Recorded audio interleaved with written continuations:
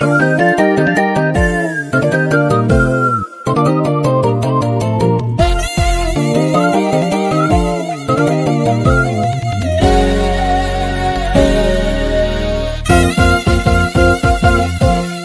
Karibu kwenye base ya burdan. Kinara wa ODM na kiongozi wa Azimio la Umoja Raila Odinga amejibu malalamishi ya kikundi cha mziki cha Sauti Sol kutokana nao kudai kuwa wimbo wao ulichezwa bila idhini yao hiyo jana, wakati ambapo Odinga alikuwa anatambulisha Martha Karua kuwa mgombea mwenza pale KICC.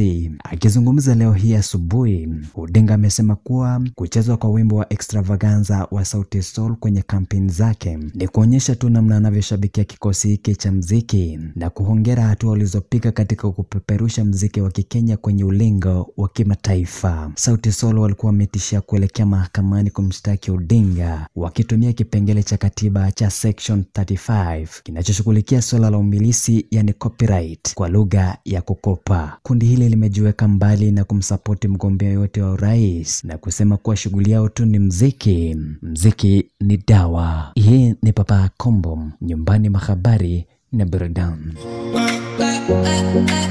Katika habari, udaku na burudani, Papa Kombo, hapa ndipo